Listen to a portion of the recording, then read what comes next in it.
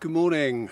Well, it's Friday, and I'm pleased to say, even though I can still see my breath a little bit and there's a fair bit of mist lingering, uh, the temperature is above freezing. There's no ice, and it feels quite pleasant.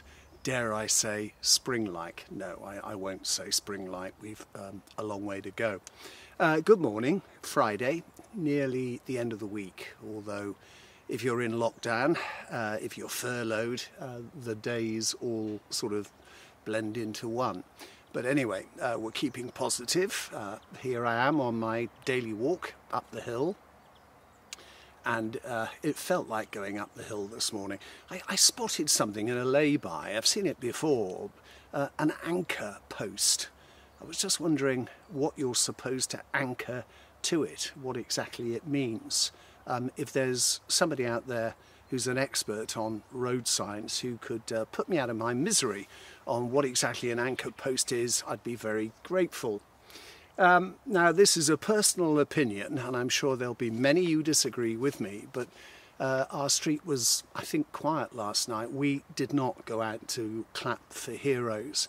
I'm very conscious of the number of medical people going online on social media saying if you really want to appreciate the work we are doing um, as carers, as, as medical people uh, who are on the front line when it comes to COVID-19, the best way of showing your appreciation is to follow the rules, is to stay safe, uh, to maintain social distancing, not to mix in vast crowds.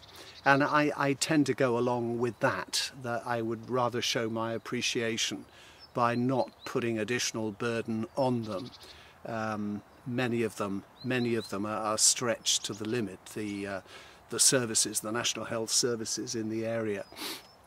So that's, that's just my opinion, but uh, there we go. Uh, a joint statement issued by uh, the universities in Bath today. Apparently, both uh, academic bodies have had questions from local residents, so uh, they thought it might be useful to my followers to understand the current situation as far as universities in Bath go. So um, I'll read you this. Uh, forgive me for looking down occasionally, but in the old days I had autocue so I could stare at the camera. But um, actually I do remember before autocue when you had to sort of read a line of news and memorize the next line afterwards. Quite a skill which I've forgotten. Uh, anyway, here's the joint statement. Uh, under the national lockdown restrictions, the majority of students across the UK are now expected to remain where they are wherever possible and start their term online. It's important to note, however, that there are some limited exceptions within government guidance that do allow students to return to their term time accommodation including for mental health reasons or to access suitable accommodation or study facilities. There are also some students who stayed in Bath throughout the winter break, including care leavers and international students, and some have already returned uh, before lockdown began. At both Bath's universities, the majority of teaching and assessments will now take place online until at least mid-February and we're awaiting further guidance from the government about what will happen after that.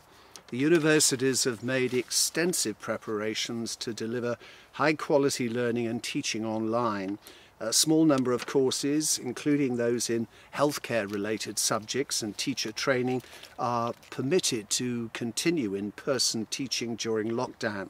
Any activities on campus will take place in line with government rules and strictly following COVID secure measures, including the wearing of face coverings, hand hygiene and social distancing.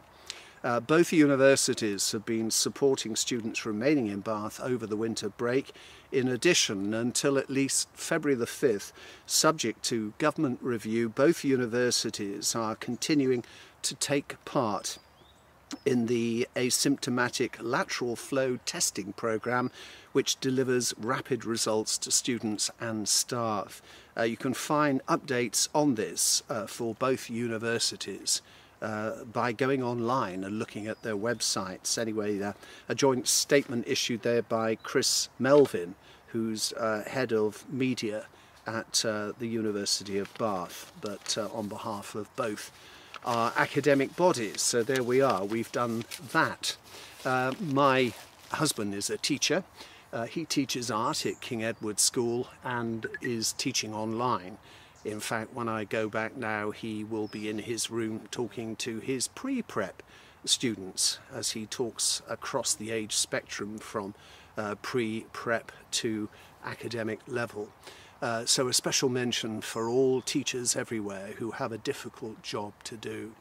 That's about it from me. Um, I'm going to go back and upload this, as they say, and I'll catch up with you soon.